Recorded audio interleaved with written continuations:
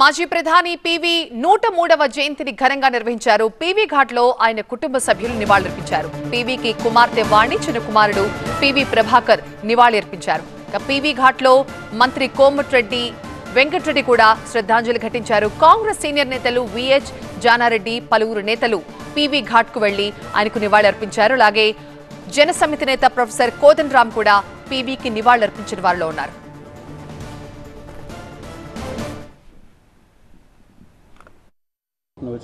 భారతరత్న వారికి ఇవ్వడం కూడా చాలా సంతోషకరమైన మీరు. నిజంగా పివి నరసింహరావు గారు అంటే భూ సంస్కరణ ముఖ్యమంత్రిగా ఉన్నప్పుడే భూ సంస్కరణ చేపట్టిన వ్యక్తి. అప్పటి ఎవరు ఎవరు మాట్లాడలే. భూ సంస్కరణలు చేపట్టిన వ్యక్తి. తనకున్న భూ భూమిని కూడా పేదలకు దానం చేయడం. ఆ రోజు మొదలుపెట్టిన ఆయన ప్రస్థానం. నిజంగా ఈరోజు మేము గర్వంగా చెప్పుకుంటాం. మా కాంగ్రెస్ పార్టీ నాయకుడు ఇవాళ ప్రపంచంలో దే భారతదేశాన్ని ఈ స్థాయికి తీసుకొచ్చిందని చెప్పి పివి నరసింహరావు గారు